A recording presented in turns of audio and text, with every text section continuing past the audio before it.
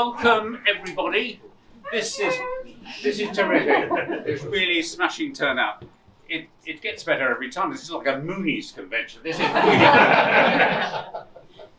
Thank you, first of all, before I get round to you, thank you to Claire and Michael and Michael.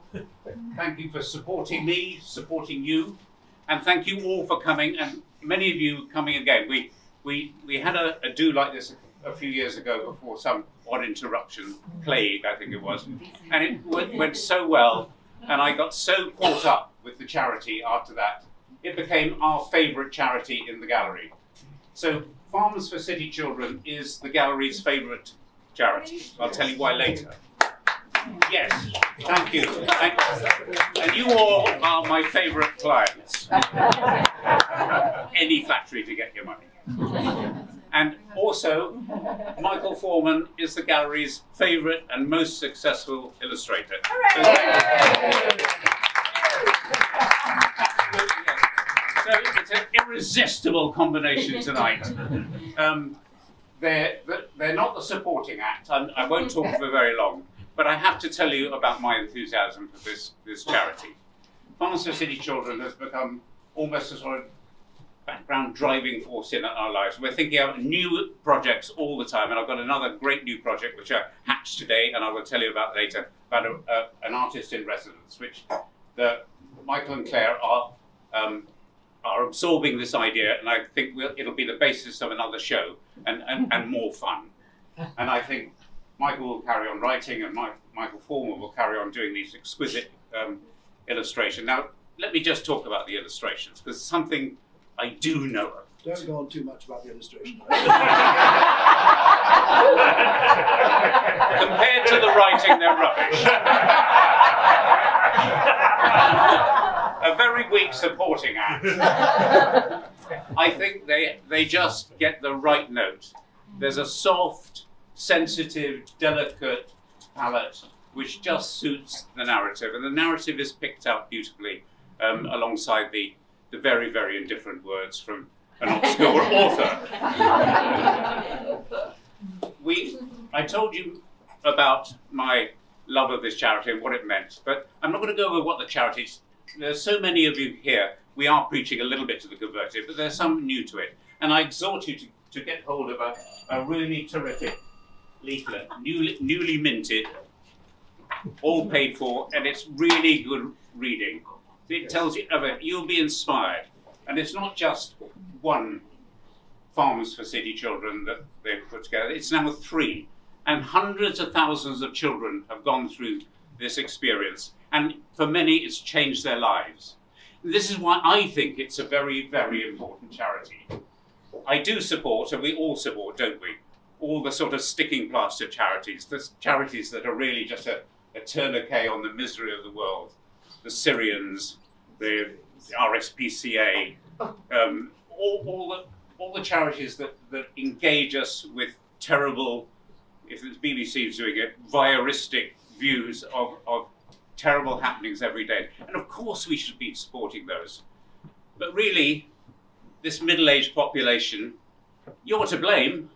I hold you all responsible. And the only way in which we can reverse this and turn away from the pity of war to stopping war is to concentrate on the next generation. Yes. The, the young ones are going to be the savior of this world.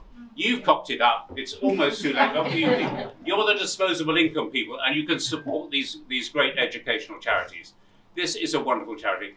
I went, in theory, I, I love the charity, but this, this summer I went down to Devon and was entertained sweetly by the, by the M's at Iddesleigh, and I went round, and I tell you, it's another layer of inspirational um, information I got they don't, these kids don't just go there for a jolly, though it is very, it's a beautiful farm and it is, it is a, a delightful, they would think of it as a holiday, but they're, they're involved.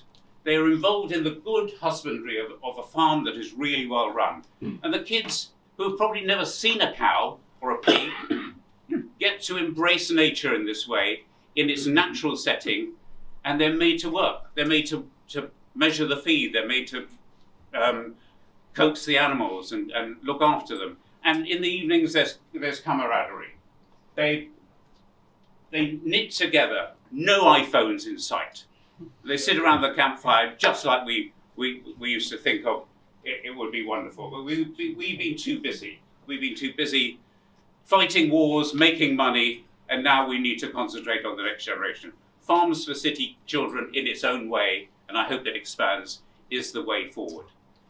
Get children embracing the natural world in natural friendship, and you've solved a lot.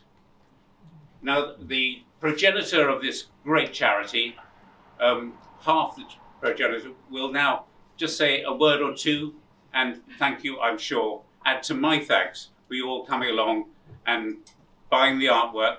It's already six thousand pounds of your money has is gone to the charity from the from the artwork downstairs. So well done you. And we hope for lots more. Um, you can direct if you if you don't want to Michael's very very indifferent illustrations. um, you can you can devote your money directly. That tells you how inside. So thank you from me, and now thank you to Michael.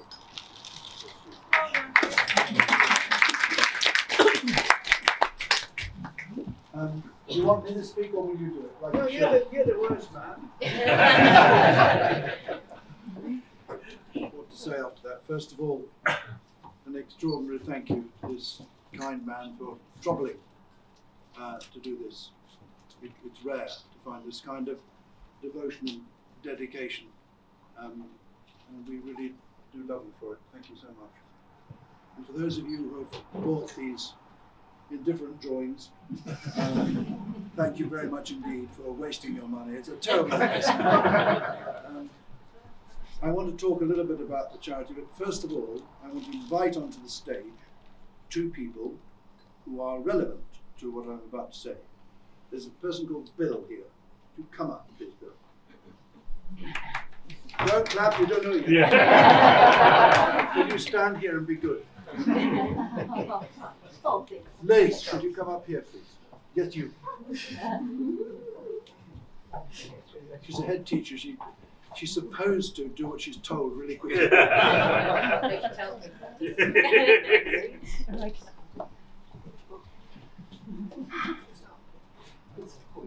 Thank you. Thanks very much. Um, they are relevant, these two, because they've um, contributed in their own ways, different ways, to Farms for City Children. First of all, Liz here was chair for 10 years at least, 12 years of uh, the charity Farms for City Children, worked day in, day out for 12 years. She's a head teacher of um, London School, but I met her first when she was a head teacher in Rome. And her contribution to the charity over those years was phenomenal, quite wonderful. I'm so pleased she's here this evening. Could you give her a huge hand? please?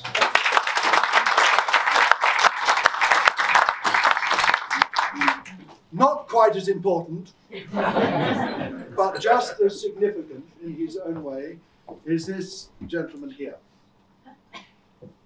How old were you when you came to the farm?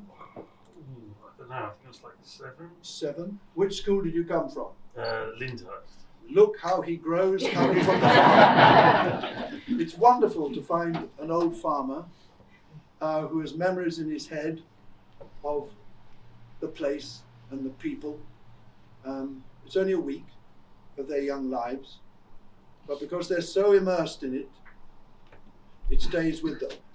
You haven't forgotten the smell, have you? And the, and the work. And the work, yes. And my favourite point was the uh, milking of the cows, which Yeah. I hear is no longer happening anymore. Yes. But it's uh, that was my, my, my abiding memory, the iodine being painted on. on What's really wonderful though is because I, I go sometimes around reading um, books and things in festivals, is I meet from, and I'm really lucky, I meet the people who came.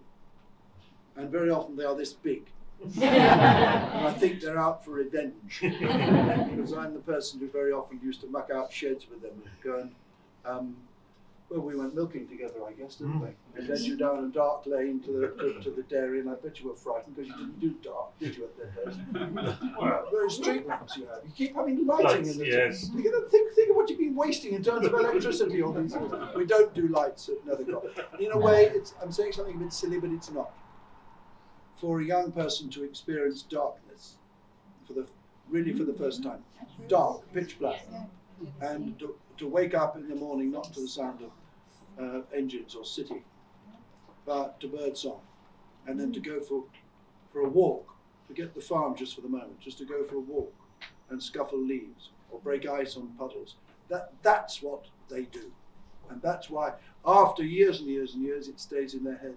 And I think we all know from our growing time, it's the special moments that grow you, that make you, the things you, the memories that you make when you're um, at school, out of school, with great teachers, sometimes with uh, great illustration and quite good writing. It's all the same.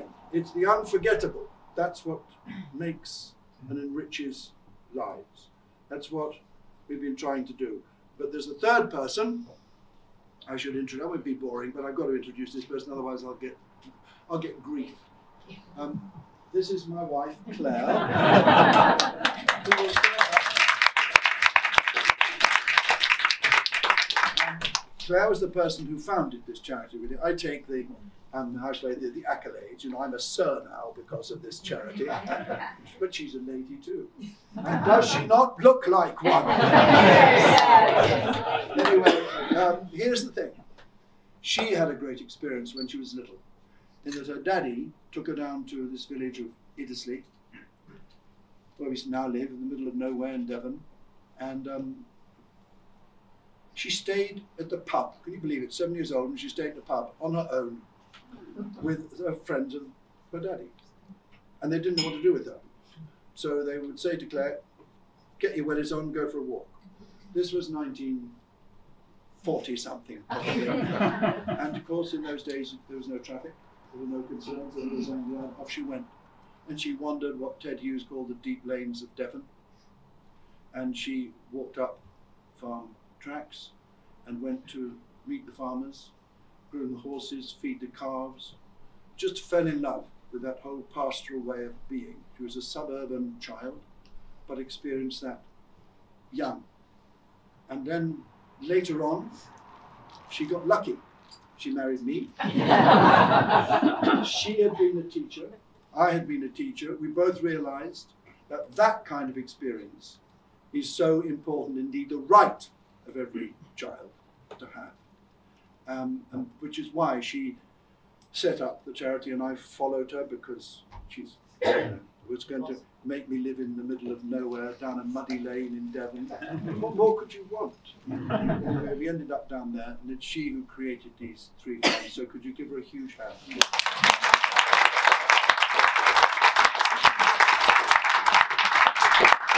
Sit down. You've enough academics. Sit down. the book, the book, the book, and the lovely drawings, the wonderful drawings. Poppy Field. Um, I just need to tell you a little bit about it. I know a lot of you have already bought a copy, and so it isn't the sale pitch because you can't go on buying the same book. But I just wanted to say why it was written because it will interest you, I think. I came across the story of how John McCrae, Canadian doctor soldier, wrote the most famous poem of the First World War. And it's a beautiful story and a sad story. He was sitting on the steps of an, of an ambulance. Uh, he had just buried his best friend. And there was a, a grave yard, a place where they just buried people quickly, and one of them was his friend. And he sat on the steps of this ambulance trying to write this poem. And this is true, and it was raining a bit. And he was deep into writing the poem. And scribble, scribble, scribble, and he kept chucking away bits of paper. And his sergeant came along and said, Sir, what are you throwing them away for? He said, Because they're no good. And this Canadian sergeant bent down and picked up the first copy of In Flanders Field. Picked it up out of, out of the mud. The rain was spattered it. He picked it up and he read it. He said, Sir, it's not bad. it's not bad at all. He said, No, it's not. I don't. And he said, You can keep it if you like. And that manuscript went off to Canada in the pocket of that sergeant, probably, unless he was killed. And no one knows where it is. And I just thought that was an extraordinary story. Uh, and it was the inspiration really for this book, Poppy Field. That and the buglers who play play their wonderful instruments uh, under the Menin Gate every evening at 8 o'clock in Ypres and done since the 1920s and 30s. It goes on every single night. Uh, and it's about the Belgium of today, the people who live there today, and how they live alongside the, the wreck of their world, which is mending all the time, but nonetheless under the ground. There are hidden dangers still. Four farmers every year get killed in Belgium and northern France by ploughing into buried shells. So the war goes on. I thought the best way to finish, in a way, is to read the poem. Actually, there's a Canadian here. Is he here? There was a rather nice Canadian man. well, he wasn't nice if he's there. Put your hand up and look Canadian. Give him a hand, please, would you? He started John McCrae's countrymen in Flanders fields. In Flanders fields the poppies blow between the crosses row on row that mark our place. And in the sky the larks, still bravely singing, fly scarce heard amid the guns below. We are the dead, Short days ago we lived, felt dawn, saw sunset glow, loved and were loved, and now we lie in Flanders fields. Take up our quarrel with the foe. To you from failing hands we throw the torch. Be yours to hold it high. If ye break faith with us who die, we shall not sleep, though poppies grow in Flanders Fields. Thank you for coming.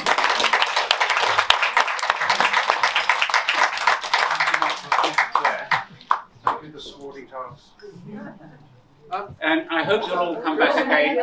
It's the season. Did you want to say something?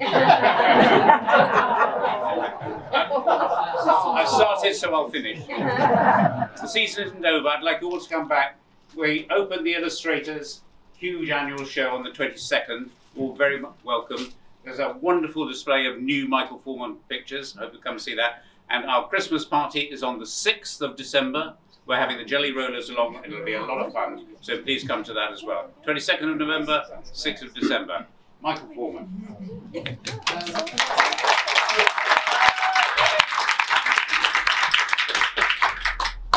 I'd just like to say something because this book was very personal to me. Um, my granny had three sons. The others two died in the First World War. My dad was too young to join, but when he heard of his brothers being killed, he lied about his age and joined. Got to France just in time to be badly gassed. Came home, and the story goes that he was never the same again. He died a month before I was born. Oh. Um, my granny had three sons. My mum had three sons. I have three sons. my wife Louise and I had two wonderful, beautiful granddaughters. the youngest of whom was called Poppy. Oh.